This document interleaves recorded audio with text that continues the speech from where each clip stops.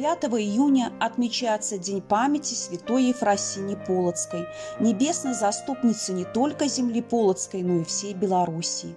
О жизни святой почти не сохранилось документальных сведений.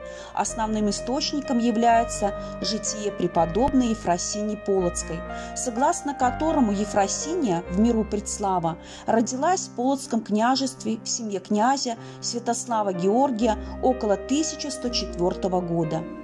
С раннего детства княжна была обучена чтению псалтырей и других книг священного писания. Любовь к книжному учению сочеталась у предславы с усердной молитвой, а внешняя красота с целомудрием.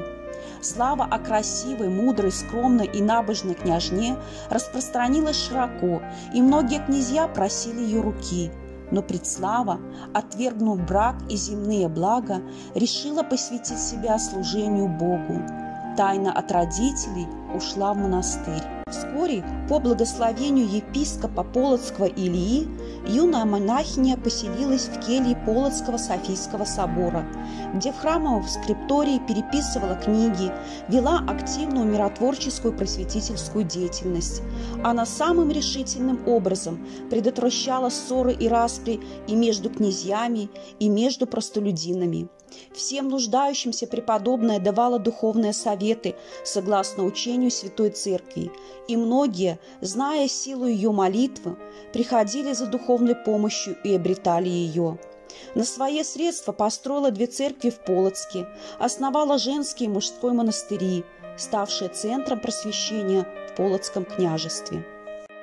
Для церкви святого Спаса по заказу Ефросинии Полоцкой в 1161 году талантливым ювелиром Лазарем Бокшей был изготовлен напрестольный крест, выполненный в форме шестиконечного креста высотой более полуметра.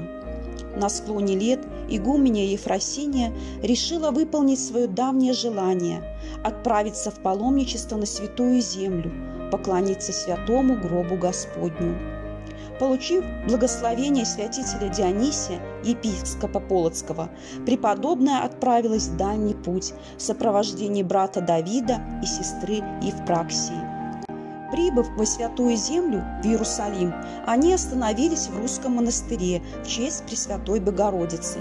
Преподобная Ефросиния трижды приходила на поклонение святому гробу Господню, обошла многие места, ознаменованные земной жизнью Спасителя – но вскоре святая Ефросиния занемогла, и после 24 дней болезни 23 мая 1173 года предала свою душу Господу.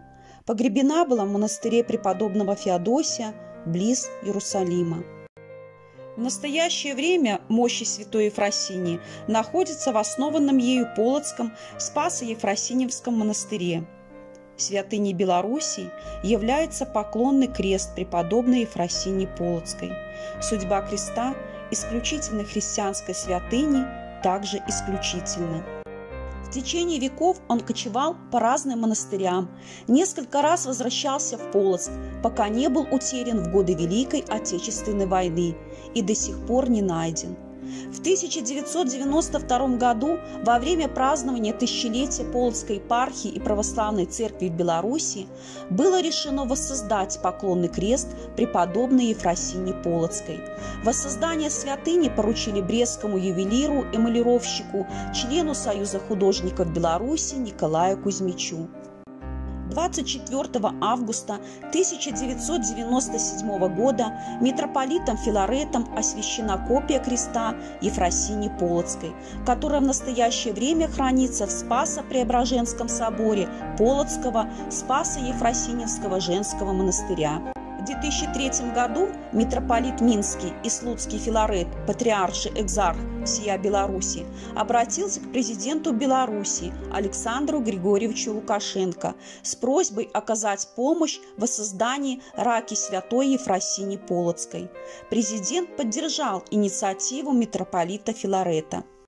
К работе приступил художник Николай Кузьмич. Рака создавалась по образцу утраченной.